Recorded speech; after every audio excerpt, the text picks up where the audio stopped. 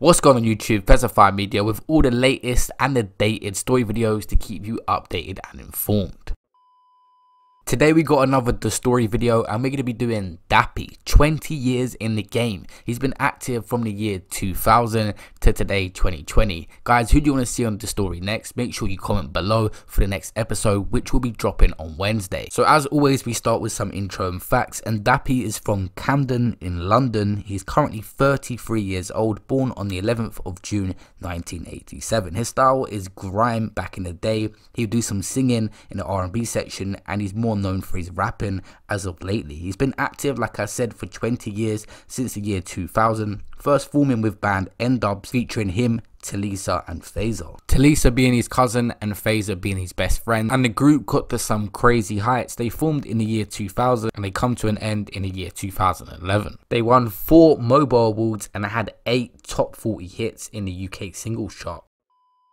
Now we're going to talk about Dappy's music rise. Of course, he had a lot of success with N-Dubz, and I might make an N-Dubz episode. They had a TV show, everything. If you guys want to see that, make sure you like this video and comment below for the N-Dubz story. It's safe to say Dappy's had a lot of success as a solo artist as well, dating back. A single with Tinchy Stryder called Number One. It's got 11 million views on YouTube and was literally on the charts and reached number one. Dappy would then put in countless works with songs like No Regrets, Rockstar, Spaceship again with Tinchy He had Yin Yang, he had IOU, then of course the Tarzan series on SBTV as well, part 1, 2 and 3 dropped on that. He had classic songs like Beautiful Me, where he went deep in that song, and then you go even deeper with his new freestyle series. Of course, he had Straight Facts, he had Trill, he had Spotlight, all of them getting over 10 million views across YouTube. Not long after, he proved he can still make hit songs when he dropped Oh My with AM. Just lately, Dappy's had countless features from K Koke to Tory Lanez, Russ, Lotto Boyzz,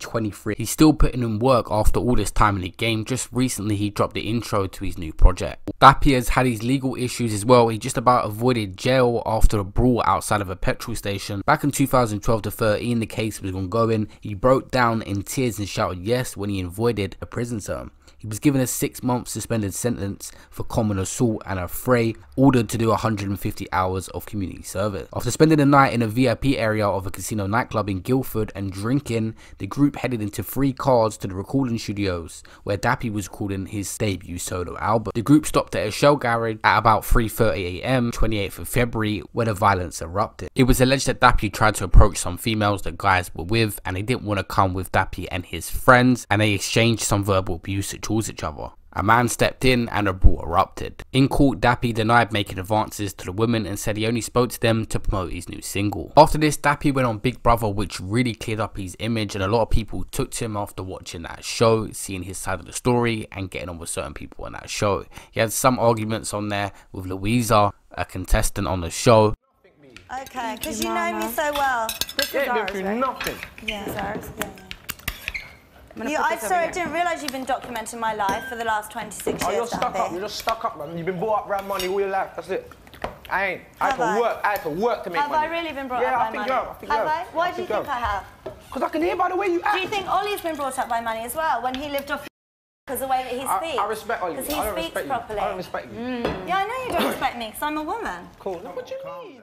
Later in the show, they did actually make up as well though. But it cleared up his image a lot in terms of the limelight and the general public. But in 2017, Dappy was given a suspended jail sentence for arming himself with a butcher's knife during a row with his partner. He spent some time on remand, then got a suspended prison sentence. He's since made a song with K Koke talking about prison called Remand. As far as Dappy's beefs and music rivals, he released a song called I'm Coming, which was Tarzan 2, sending for a lot of people like Simon Cowell and even Scorcher. Scorcher made a whole diss track aimed towards Dappy, and Dappy didn't make a diss track back, but he had references in songs talking about F Scorcher and that nobody robbed his chain. After Scorcher claimed that he did get robbed for his chain. The small beef it was, Scorcher did well out of it. It got 4.3 million views, the diss track towards Dappy, and definitely launched his career.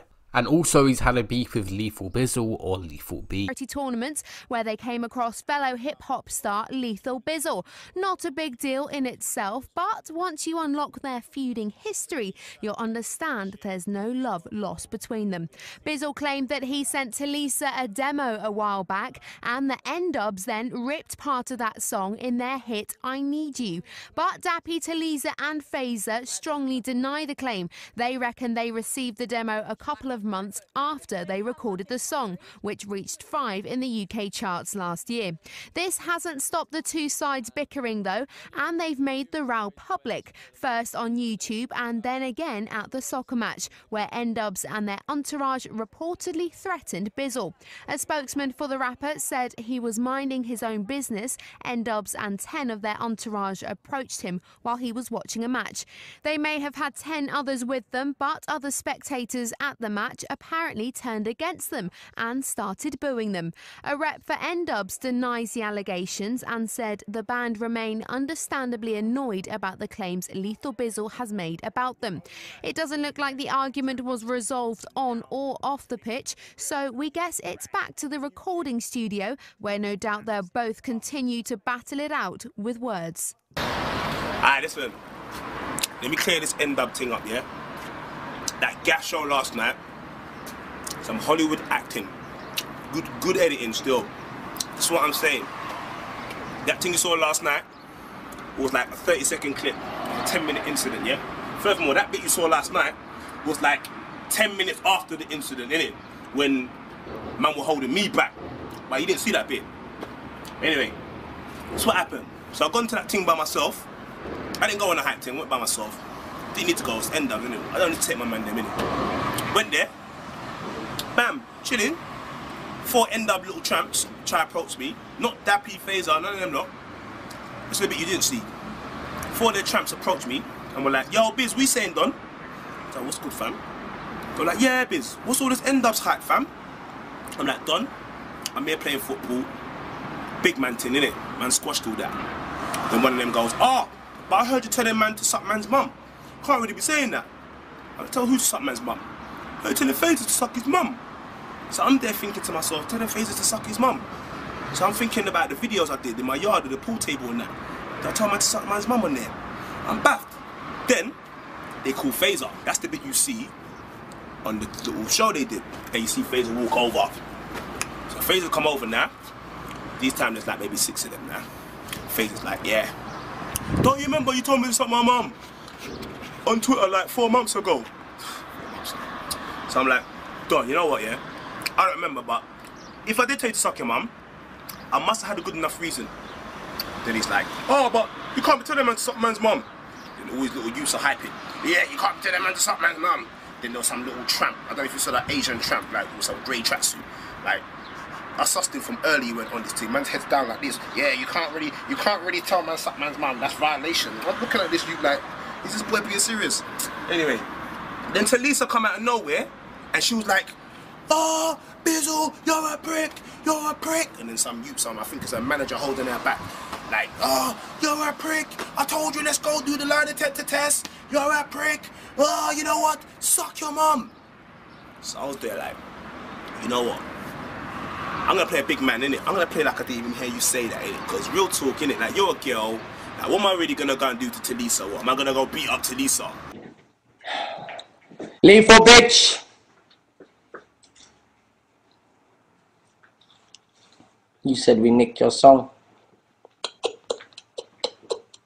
You said we nicked your song. Think about it. hey, how many records you sold, bruh? Seriously. Lethal bitch. How many records you sold? I'm laughing inside my brain.